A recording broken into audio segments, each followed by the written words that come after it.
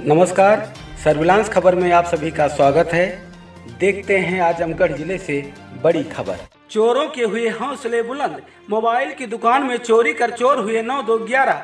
चोरों को पकड़ने में पुलिस रही नाकाम। चोरों के आतंक से दुकानदारों में दहशत का माहौल। आपको बताते चले कि अहरौला थाना क्षेत्र में चोरियों का सिलसिला थमने का नाम नहीं ले रहा है और वहाँ की पुलिस हाथ पे हाथ धरकर बैठी है। मंगलवार की रात अहरौला थाना से चंद कदमों की दूरी पर चोरों ने मोबाइल की दुकान पर सेध लगाकर मोबाइल की दुकान से मोबाइल फ़ोन और नकदी चुरा कर फरार हो गए।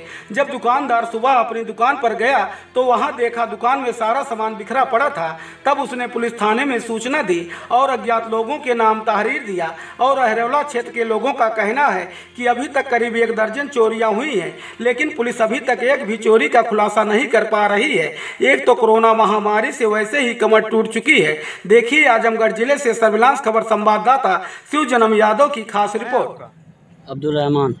आपके यहाँ कौन सी घटना हुई है? चोरी हुई। कौन सी दुकान है आपकी? मोबाइल की दुकान है। क्या क्या चोरी हुआ आपके मोबाइल मोबाइल चोरी हुई है और ग्यारह हज़ार रुपये नगद कहाँ रिचार्ज से के लिए जो है रखे थे वो। ताला तोड़ के हुई कैसे चोरी नहीं हुई? पीछे से सेन काट के हुई है। दीवार तोड़ दी हाँ।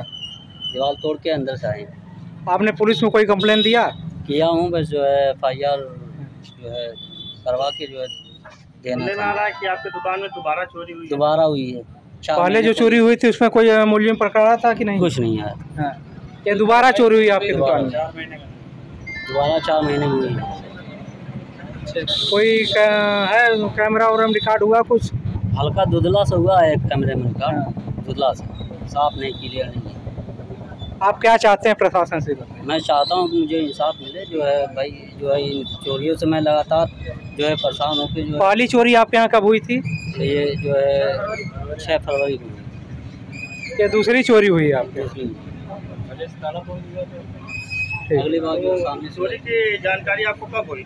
सुबह में जब दुकान खोला हूँ तब जानकारी हुई। क्या क्या गया मतलब और कुछ गया? क्यों?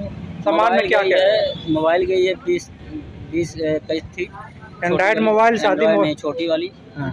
और ग्यारह हज़ार रुपये नगद। थी जो रिचार्ज वाले टॉपअप वाले होते हैं वही। टॉप अप ही गया टॉपअप नहीं रिचार्ज वाला जो पैसा रखते हैं वही अच्छा, अच्छा, वो वाला। है। सूचना कहीं आप दिए थाने में किया। एक सौ बारह। तो आपके थाना अध्यक्ष महोदय ने आपको कुछ आश्वासन दिया है? हाँ बोले हैं शाम को आइएगा देखते हैं। अच्छा। किसको बुलाएँगे? चोर को? मुझे बुलाए हैं शाम को। अच्छा, शाम को बुलाए। यहाँ कोई पुलिस वाला अधिकारी आया नहीं? आए थे। नायब आए थे।